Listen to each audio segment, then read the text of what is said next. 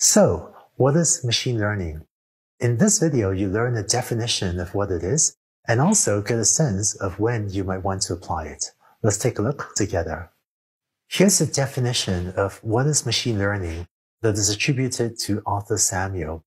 He defined machine learning as the field of study that gives computers the ability to learn without being explicitly programmed. Samuel's claim to fame was that back in the 1950s, he wrote a checkers playing program.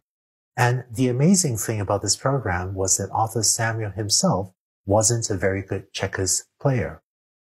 What he did was he had programmed the computer to play maybe tens of thousands of games against itself. And by watching what sorts of board positions tended to lead to wins and what positions tended to lead to losses, the checkers playing program learned over time what are good or bad board positions. By trying to get to good and avoid bad positions, his program learned to get better and better at playing checkers.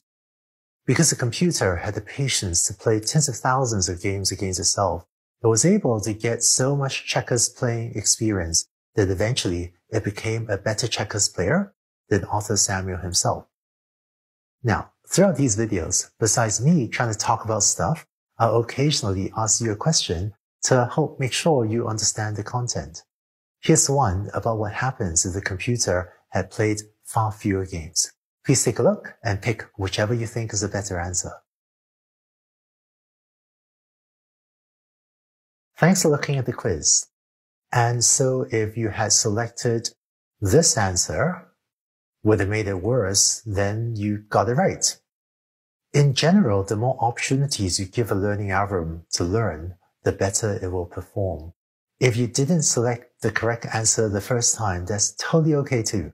The point of these quiz questions isn't to see if you can get them all correct on the first try. These questions are here just to help you practice the concepts you're learning. Arthur Samuel's definition was a rather informal one, but in the next two videos, we'll dive deeper together into what are the major types of machine learning algorithms. In this class, you learn about many different learning algorithms. The two main types of machine learning are supervised learning and unsupervised learning. We'll define what these terms mean more in the next couple videos. Of these two, supervised learning is the type of machine learning that is used most in many real-world applications and that has seen the most rapid advancement and innovation. In this specialization, which has three courses in total, the first and second courses will focus on supervised learning and the third will focus on unsupervised learning. You might have also heard of reinforcement learning. This is another type of machine learning algorithm that I'll talk about briefly. But by far, the two most used types of learning algorithms today are supervised learning and unsupervised learning. That's why we'll spend most of this class talking about them. The other thing we're going to spend a lot of time on in this specialization is practical advice for applying learning algorithms. This is something I feel pretty strongly about. Teaching about learning algorithms is like giving someone a set of tools. And equally important or even more important than making sure you have great tools is making sure you know how to apply them. Because, you know, what good is it if someone were to give you a state-of-the-art hammer or a state-of-the-art hand drill and say, good luck, now you have all the tools you need to build a three-story house doesn't really work like that.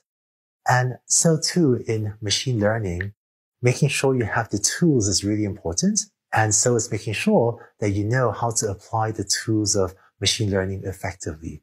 So that's what you get in this class, the tools as well as the skills of applying them effectively. I regularly visit with friends and teams in some of the top tech companies. And even today, I see experienced machine learning teams apply machine learning algorithms to some problems.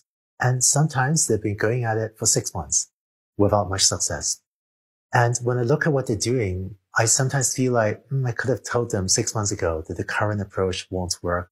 And there's a different way of using these tools that will give them a much better chance of success. So in this class, one of the relatively unique things you learn is you learn a lot about the best practices for how to actually develop a practical, valuable machine learning system. This way, you're less likely to end up in one of those teams that end up losing six months going in the wrong direction.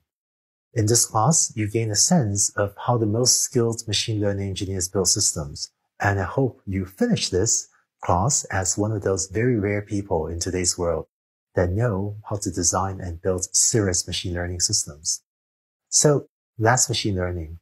In the next video, let's look more deeply at what is supervised learning and also what is unsupervised learning. In addition, you learn when you might want to use each of them, supervised and unsupervised learning. I'll see you in the next video.